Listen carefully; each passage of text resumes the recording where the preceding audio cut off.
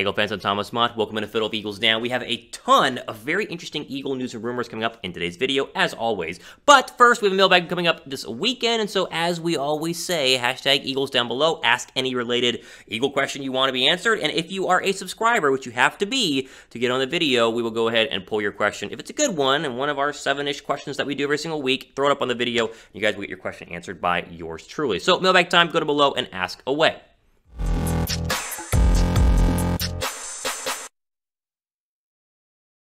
Right, let's jump into the latest Eagle news and rumors. As we always do, we start with the best first, and that is the Miles Sanders dilemma, as people are calling it right now in Philadelphia media. Today, you probably saw on Twitter, if you follow me on Twitter, at Real Thomas Mott, I retweeted Miles Sanders has been elevated to, or I guess activated, to be able to play, pr practice and then play. It's a lot of words to say there. Practice and then play on Sunday, meaning he is probably going to go ahead and play against the Saints on Sunday. So he was eligible to return this week. They have activated him. He has 21 days in the practice window to practice. He will practice this week. He should should be good to go. You'll see him on the field uh, on Sunday, barring a setback. Now, Jordan Howard and Boston Scott, as we'll see a little bit later on, have been fantastic in his absence, leading many people to say, oh, you know, don't disrupt the chemistry, don't play Miles Sanders, which is coming from a lot of like very prominent Eagle reporters and beat writers and, you know, TV pundits, and it's just like, what? Like, it makes no sense. I'll show you guys an example here in a second. Uh, this is the number one ranked rush defense that you're playing against in terms of the Saints on Sunday, so it's going to need a lot of work and a lot of help from all running backs involved in order to go ahead and keep running the football first and having success against, again, a good defense in New Orleans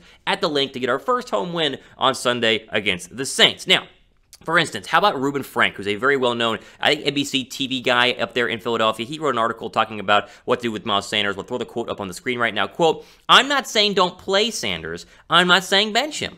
But the Eagles have a good thing going right now, and it doesn't make sense to change. I like Sanders, but you can't ignore the fact that this offense has been more effective without him. There's a lot of other factors. The O-line has played better, Sirianni's play calling has improved dramatically, and Jalen Hurts has been more efficient, but Scott and Howard have just been consistently productive in a way that Sanders hasn't been, end quote.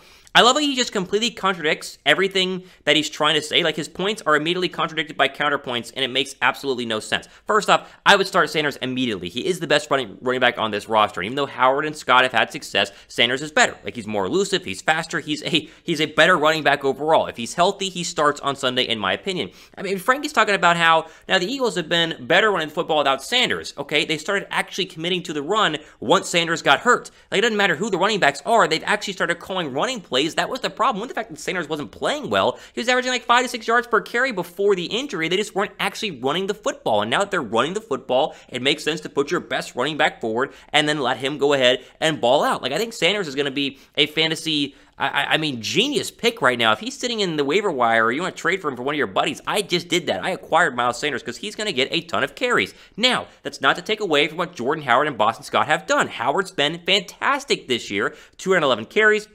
5.1 yards per uh, uh, carry, three touchdowns. I would keep feeding him. I would continue to let him be the number two running back and not the number one running back because Sanders' elusivity and speed first, then the power of Jordan Howard is a crazy good one-two punch. Likewise, Boston Scott, he's been playing well at the same time. I mean, look at the numbers here, 5.1. They're almost identical to Jordan Howard in terms of overall carries and yards per carry and touchdowns. However, when you get down to the nitty-gritty, Scott is not as good as Miles Sanders. Scott is running well because the Eagles are running well right now, and Scott is still a good back. Like, obviously keep him on the roster, but and I would try to get him involved a little bit, but Sanders needs to be the number one running back on this roster. I think he will be the number one running back once we go ahead and get him back on Sunday. You can mix and you can mingle, but really it should be Sanders one, Howard two, and then Boston Scott. That should be the order that we're going here. The idea that the Eagles, you know, are better without Miles Sanders because Miles Sanders wasn't playing well at the beginning of the year is just like, do you even watch the Eagles? Like, like seriously, the reason that Miles Sanders is not successful because they never gave him the darn football. And we whined about that literally for months here, and they finally started doing it once he got out. I expect him to play, I expect him to start, I expect him to get most of the carries on Sunday for Philadelphia.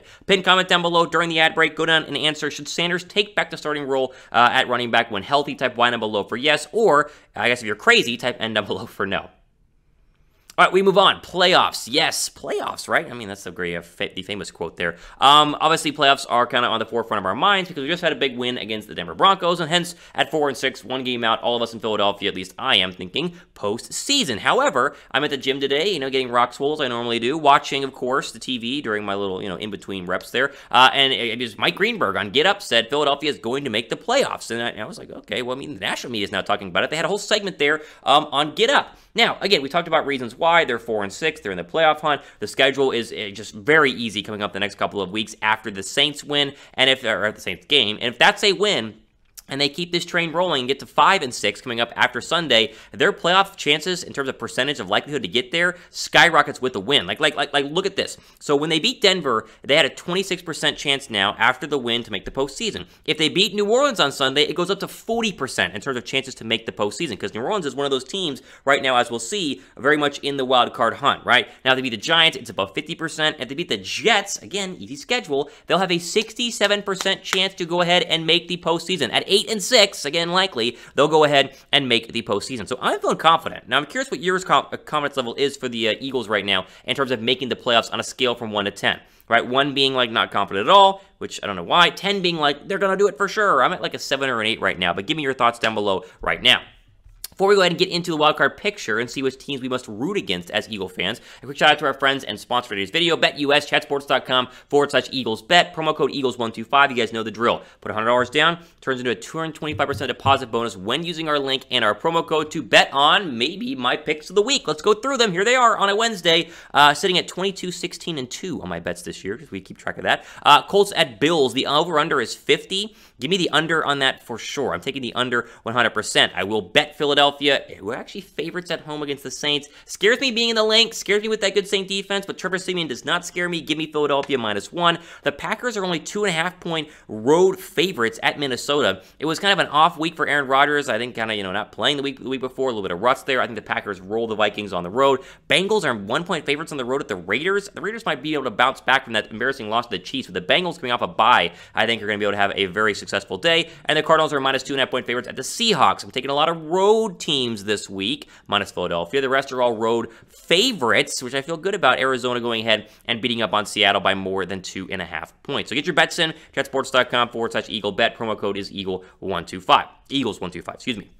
Okay, here, of course, is the wild card picture. Now, the Rams are seemingly the five seed. They seem to have that locked up, and of course, you know, Dallas could fall down a little bit. Uh, sorry, Dallas would not fall down a little bit because they're to win, the division. The Cardinals could fall down a little bit. The Packers uh, are going to stay up there. You know, the the Cardinals could technically fall down, but it looks like an AFC West team will be the five seed. That means six and seven are open. You beat the Saints on Sunday. They're five and five. We're five and six. We have the tiebreaker. That's huge. You already have the Panther tiebreaker. That is massive. You got to definitely root against the Vikings this week, and you got to root against the 49ers because the 49ers have the tiebreaker against Philadelphia following the week two loss. The Falcons play, of course, on Thursday Night Football against the Patriots, root against Atlanta because they're another team that's trying to go ahead and bump up there for the seventh seed. But as you see, even though Philadelphia is still way down there, sitting there at four and six, a couple of wins against bad football teams. We talked about them. Saints coming up here, Giants, Jets. Like these are these are you know not too great football teams. Some wins in a row can go ahead and definitely give Philadelphia a chance to make the postseason. So I'm uh, getting a little hyped. I'm getting a little uh, excited here, but I don't want to get you know the horse too, too if the cart too far ahead of the horse. But I do feel like Philadelphia,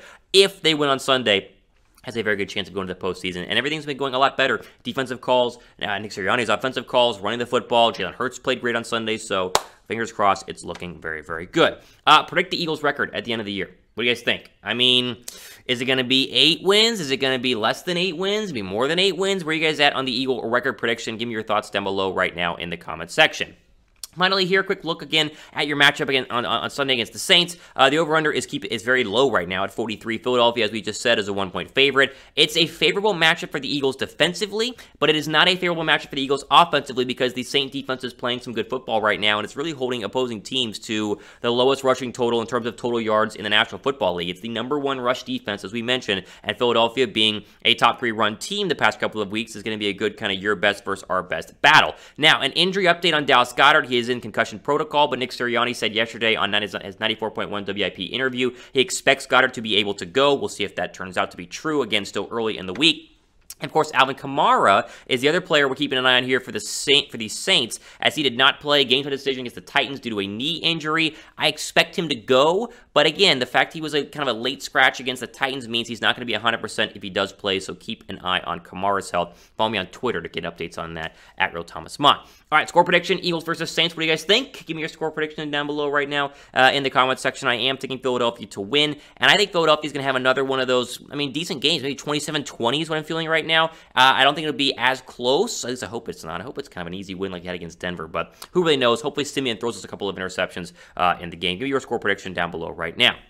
Again, ultimate for today on our Philadelphia Eagles Now news and rumor video. Mailbag coming up next couple of days here for the weekend. Hashtag Eagles to go ahead and get your question down below and be sure to be a subscriber because that's the best way and the only way to go ahead and get your question pulled for uh, the mailbag video. Ultimate for today on our Philadelphia Eagles Now news and rumor video. Thomas Mott signing off for the rest of your day.